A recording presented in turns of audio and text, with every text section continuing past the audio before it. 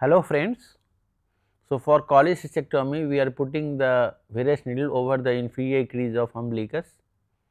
One small stab wound is given by 11 number of knife and then we are putting the Veress needle in the inferior crease of umbilicus and then pneumoperitoneum started. So, for the long time I have not put the you know the video of the cholecystectomy. Last video I have put maybe 6 year ago. So, our student had asked that they want one skin to skin cholecystectomy. So, now after pneumoperitoneum we are enlarging the incision 11 mm to put the optical port. So, this is cholelithiasis symptomatic and we will do laparoscopic cholecystectomy with the 4 port. So, here optical port is introduced. Right side is the head of the patient, left side is the leg part and this is a 26 year old female. This is the hissing sound is coming once the trocar is introduced. Now, white balancing and focusing of telescope is performed and then telescope will be introduced inside. Here we are giving the epigastric port just below the xiphisternum and this is the right hand instrument of the surgeon will be taken in the epigastric port. So, here we are performing the cholecystectomy in the American position where surgeon will stand left and after putting the this is the third port that is mid clavicular line just below the costal margin or you can say just below the fundus of the gallbladder. This you can allow your assistant to put or you can also introduce.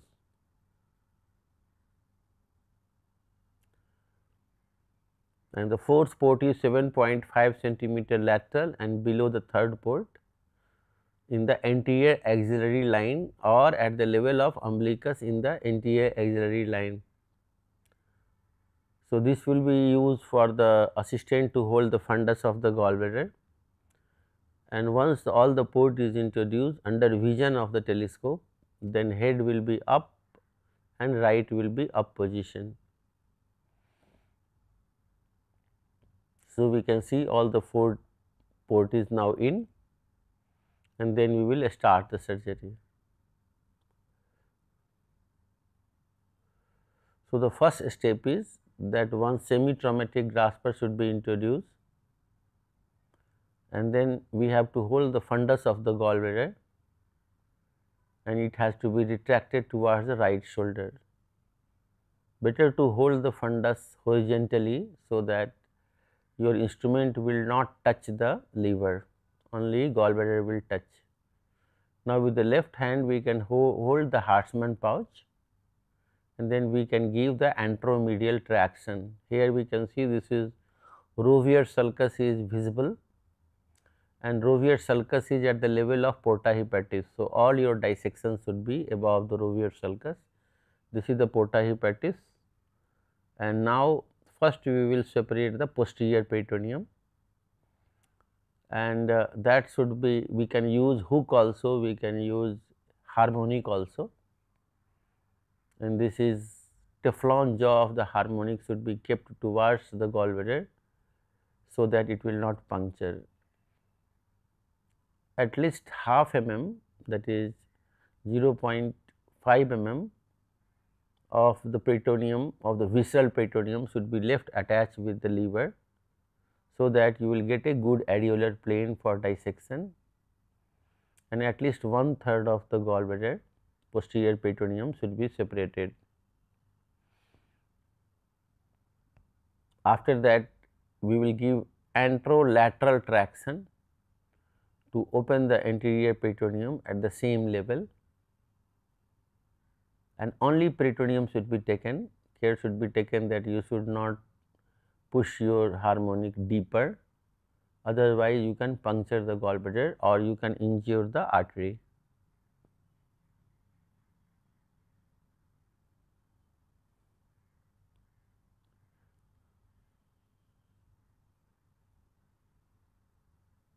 After that we have to do a skeletonization of the cystic pedicle. For that you can give the anterior traction over the Hartmann and very thin film of the visceral peritoneum over the cystic pedicle can be separated all around. Care should be taken, the Teflon jaw should be pierced in the peritoneum and only half mm you should hold because you should not hold a thick tissue otherwise you can accidentally puncture the artery or you can puncture the duct. So, this is done peritoneum is separated.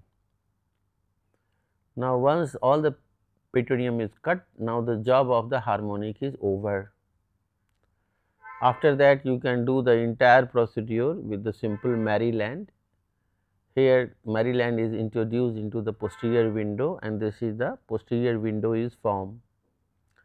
But to make it more conform you can just dissect little more to the cystic plate so that at least one third of the gallbladder should be separated from the liver and that means you can enlarge the posterior window that will be safer because in the calots of the laparoscopy posterior inferior this edge of the liver should be visible. After that you can make a Maryland and just you can make the anterior window. For that initially tip of the Maryland should be kept towards the liver and open couple of time to make a plane between the artery and duct. And then you can just rotate the Maryland to keep convexity towards the liver and then you can separate artery with the duct and this is the anterior window. So, we can see critical view of safety and this is the ICG, we will turn the ICG on and you can clearly see the CBD there, this is CBD, this is cystic duct and there is a common hepatic duct. If you will push the telescope inside, then you can see entire common hepatic duct together with the right and left hepatic duct. So, it is over. Now, we will clip the artery first and while you are clipping both the limb of the clip applicator should be visible. So, light cable will be turned at a 7 o'clock position in the 30 degree telescope. So, you can see both the tip of the clip applicator. Here we are planning to cut the cystic artery with the harmonic. So, one clip is enough. However, you can do the clipless also, but one clip is enough. After that, this is the clipping of the duct and we should take care that we should not go very near to the CBD. So, at least 3 mm you should go away from the CBD. So, that lateral clipping of the CBD should not happen accidentally. So, first clip is applied 3 millimeter away from the CBD. Now, we are applying third clip and you can sweep the cystic duct with the lower jaw of the clip applicator. So, that any stone will not come in that and then we will apply second clip that will be applied 3 millimeter away from the first clip. So, this is the second clip and clipping part is complete. After that you can cut the artery and duct. So, this is the harmonic which is cutting the artery and it will seal the artery also and after that you can cut the duct.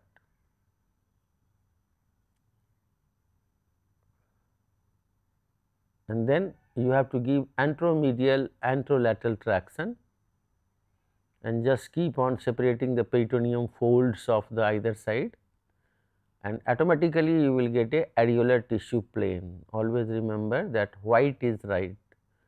Once you will get a areolar tissue plane automatically it will look white and that area should be cut. You should not go very near to the liver and we should not go very near to the gallbladder also. If you are using hook also similarly hook, look and cook. If you are using harmonic then better to keep Teflon jaw towards the liver, towards the gallbladder so that gallbladder will not puncture accidentally. So, slowly slowly gallbladder is getting separated. Once you have done your two third of the separation of the gallbladder then fundus grasper has to be better removed and you can optimize your traction with your left hand holding near the lever. And now this is the last part of the gallbladder has to be removed. This is the point where maximum perforation of the gallbladder happens. So, you have to be little slow and the traction should be optimized. Sometime blunt dissection also can separate the gallbladder. Now, before completely detaching the gallbladder from the liver, you should have a final view. For that, you may turn the ICG mode again on and you can inspect the entire bed and that will show you if there is any bleeding or any duct of Luschka or cystohepatic duct. Before once you will totally cut liver will drop. So, this is the final inspection and again ICG mode is on and you can check the. So, there is no bleeding, there is no any duct of Luschka or cystohepatic duct and then you can do final cut. So, at the time of final cut you have to be careful that you should maintain the plane of areolar tissue and optimize the traction in the infero anterior direction like it should be inferiorly and anteriorly pulled.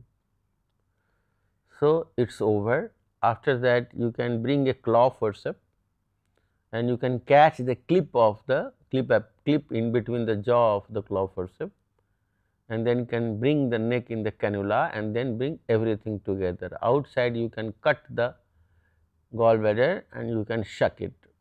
So, bile will be sucked with the suction and if there are multiple stone you have to put a ovum forceps and that will empty the gallbladder. Alternatively, you can enlarge the incision, but better is to take little time and extract all the stone out so that you do not need to enlarge the incision. So, this is a very simple case of laparoscopic cholecystectomy and uh, just I have put this video for just a repetition of the surgery. Thank you very much.